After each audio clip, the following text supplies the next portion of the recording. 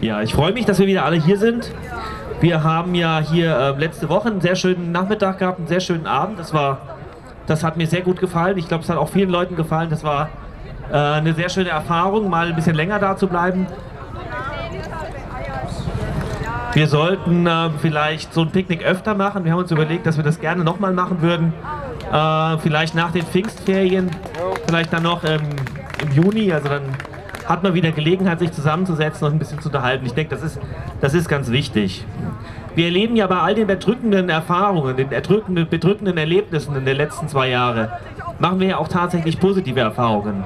Und wenn ihr da vorne mal aufhört zu quatschen, können mich auch alle verstehen. Das irritiert nämlich selbst mich total. Könnt ihr mal ein bisschen... Okay, super, vielen Dank. Also, ähm, wir machen auch schöne Erfahrungen. Wir verstehen uns, wir lernen neue Leute kennen, mit denen wir uns natürlich dann angeregt unterhalten wollen. Das ist ja ganz toll. Ich finde auch, wir haben eine ganz, ähm, eine ganz tolle Gemeinschaft bekommen und eine ganz tolle Art, aufeinander zuzugehen. Das hat man auch letzte Woche sehr schön gemerkt. Das ist eine sehr offene Art, aufeinander zuzugehen. Und ähm, ja, das ist auch toll, dass viele Menschen hier betroffen sind äh, oder nicht betroffen sind und trotzdem solidarisch sind. Wir hatten ja initial diese Demonstrationsserie angefangen, das hat Annette ja letzte Woche ganz schön berichtet, als Solidaritätsveranstaltung für von der Impfpflicht betroffene Menschen, zunächst im Josefskrankenhaus und dann fortgesetzt. Viele von uns sind betroffen, aber es sind natürlich auch viele hier, die sind nicht direkt unmittelbar betroffen, die sind aber ähm, solidarisch oder machen sich einfach Sorgen, was noch kommen wird. Morgen vielleicht sind es schon die über 60-Jährigen, die die Solidarität der Jüngeren brauchen, wenn die Impfpflicht ab 60 im Herbst eingeführt werden sollte. Also es ist ganz wichtig, dass wir jetzt zusammenhalten, dass wir uns nicht spalten lassen, denn die Gefahr der Spaltung ist immer da. Jeder, der aktuell verschont bleibt von der Impfpflicht, ist natürlich froh, seinen Arbeitsplatz nicht zu verlieren. Wir sehen auch scheinbar ermutigende Zeichen. Die Impfpflicht in der Verwaltung von Krankenhäusern oder so scheint nicht durchgesetzt zu werden. Da gibt es Zeichen.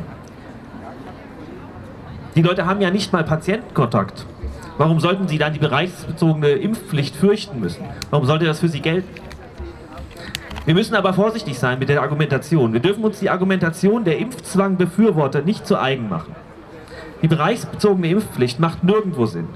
Nicht in der Verwaltung einer Klinik, aber auch nicht auf der Station eines Krankenhauses. Sie ist und bleibt ein unrechtmäßiger und sinnloser Eingriff in unsere Grundrechte.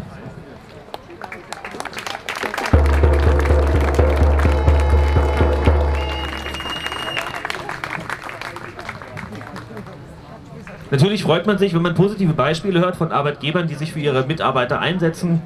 Ähm, wir haben das hier auch mitbekommen in der Pathologie in Heidelberg, der Herr Schirmacher, der es durchgesetzt zu haben scheint, dass seine Mitarbeiter von der Impfpflicht nicht betroffen sind oder nicht entlassen werden.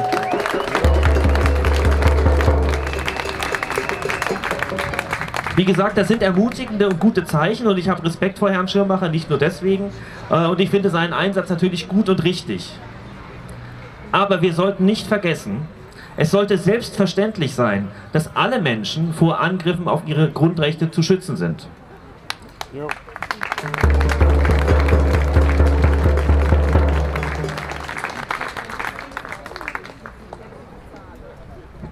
Jeder, der die Sinnlosigkeit der bereichsbezogenen Impfpflicht erkennt, ist auch verpflichtet, alles gegen ihre Einführung zu tun.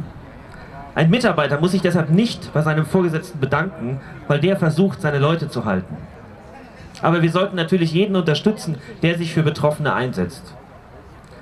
Und wenn wir plötzlich selber von der Impfpflicht ausgenommen sind, dürfen wir auch keineswegs aufhören, uns genauso weiter gegen die Impfpflicht einzusetzen und vielleicht auch weiterhin jeden Mittwoch hier aufzutauchen. Ja.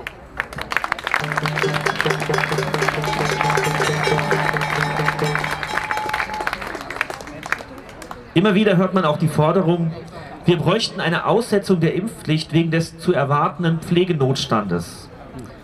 Natürlich, die Pflege, die Situation in der Pflege wird durch die Impfpflicht verschärft. Aber es sollte uns auch bewusst sein, die bereichsbezogene Impfpflicht darf nicht deshalb ausgesetzt werden, weil man uns braucht. Sie darf nicht deshalb scheitern, weil wir zu Recht Angst vor einem Kollaps in der Pflege haben.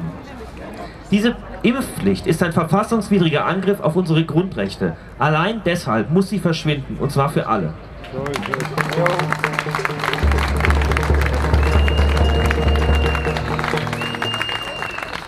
Es darf nicht sein, dass unsere Grundrechte nur deshalb respektiert werden, weil unsere Arbeitskraft gebraucht wird.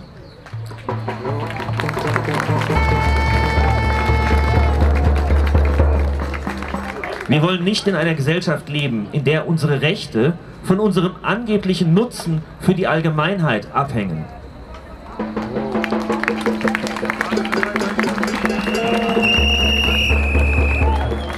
Denn dann landen wir sehr schnell in einer Gesellschaft, in der wir uns jedes Recht individuell erarbeiten müssen. Ja.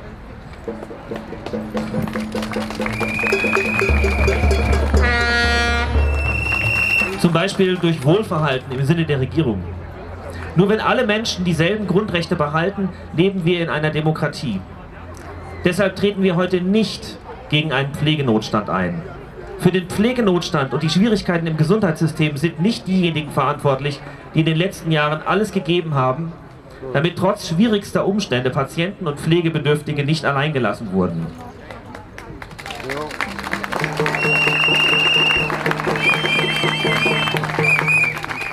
Die katastrophalen Zustände, den seit Jahren zu beklagenden Mangel an Pflegekräften und Ärzten, den haben andere zu verantworten.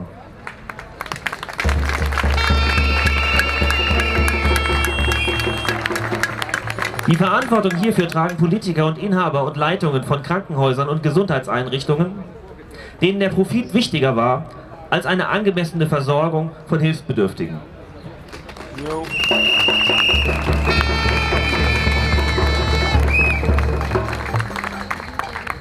Aber wir treten heute für unsere Grundrechte und für unser Grundgesetz ein. Am 23. Mai, also letzte Woche, hatten wir den Tag des Grundgesetzes. Das war nur ein paar Tage, nachdem die Richter des Bundesverfassungsgerichts ihre Verachtung für das Grundgesetz erklärt hatten, indem sie die Impfpflicht für verfassungskonform erklärt haben.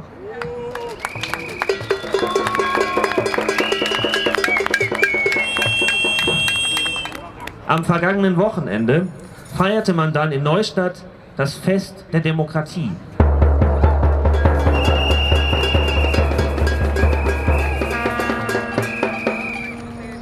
Mehrere tausend Menschen nahmen daran teil, viele in Weiß, viele auch, die heute hier sind. Als wir vom Marktplatz Richtung Hambacher Schloss aufbrachen, spielte die Band auf der Bühne gerade Die Gedanken sind frei. Es war eine bizarre Situation, da wir schon beim Aufstieg zum Hambacher Schloss damit rechnen mussten, von der Polizei aufgehalten zu werden. Wir durften dann erwartungsgemäß das Schloss auch nicht betreten. Es war nämlich bereits überfüllt. Überfüllt mit einer Handvoll Politiker, ich glaube, es waren insgesamt so 150 Menschen da, maximal. Politiker, die die Demokratie lieber ungestört und ohne das Volk feiern wollten.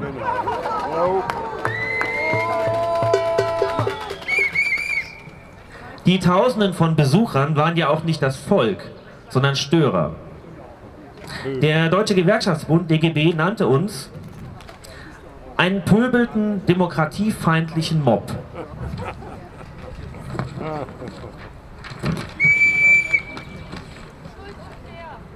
Ich muss das kurz zitieren. Auf Twitter hat der DGB geschrieben, Reichsbürgern, Querdenkern, Verschwörungsgläubigen, Rechtsextremen und in Impfgegnern in das Hambacher Schloss, wurden in das Hambacher Schloss gelassen, um ihren Hass auf Politik und andere demokratische Gruppen freien Lauf zu lassen. Vom antisemitischen Sprüchen bis Holocaust-Relativierung war alles dabei. Habe ich nichts von gesehen. Ich war auch dabei. Und weder habe ich Nazis noch Rechtsradikale wahrgenommen, noch habe ich gehört, dass irgendwelche rechtsextremen Parolen gerufen wurden. Tatsächlich waren wir Teilnehmer eines Fests, aber aufgrund unserer weißen Farben eindeutig als regierungskritisch zu identifizieren. Wir waren übrigens eindeutig in der Mehrheit.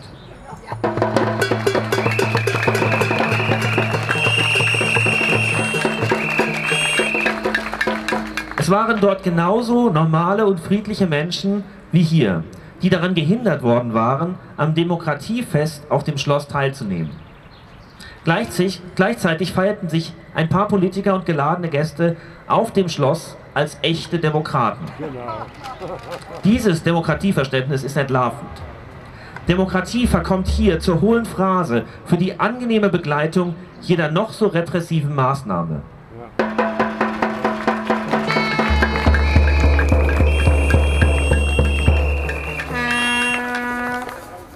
Dieses Demokratieverständnis ist nichts anderes als die Rechtfertigung für eine Diktatur, in der eine manipulierte und entmündigte Mehrheit im Glauben gehalten wird, sie wäre der Souverän.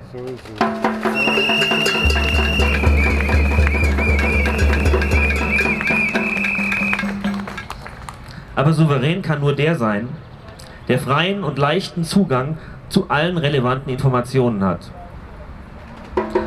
Nur der ist souverän, der vollumfänglich informiert, ohne Druck und ohne Zwang eigene und freie Entscheidungen treffen kann.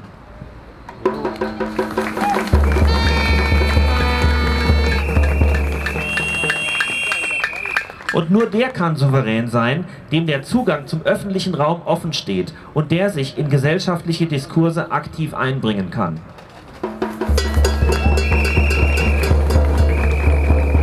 Das wären dann wohl wir. Wer aber mit dem Verlust seiner sozialen und wirtschaftlichen Grundlagen bedroht wird, wer Angst vor Repressionen hat oder dem Verlust seiner Grundrechte, wenn er zögern würde, sich Anordnungen zu unterwerfen, der ist nicht wirklich frei. Und diejenigen, die Zensur betreiben, die uns unter Druck setzen und uns aus dem öffentlichen Raum fernhaben wollen, sind keine Demokraten.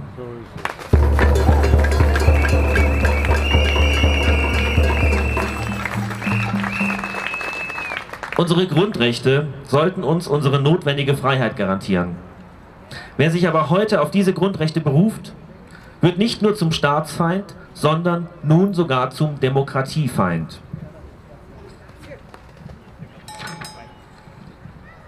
Wer die individuelle Freiheit nicht aufgeben will, die wir in Jahrhunderten seit der Aufklärung in Europa erkämpft haben, dem wird jetzt ein Freiheitsfetisch unterstellt. Ein Freiheitsfetisch, der angeblich die Gesundheit einer Mehrheit gefährde.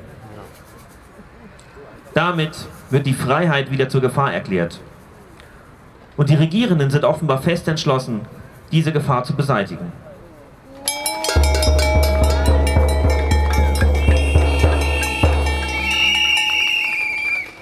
Lasst uns deshalb genauso entschlossen sein. Lasst uns immer wieder hierher kommen und ich wünsche uns allen einen wunderbaren Spaziergang heute.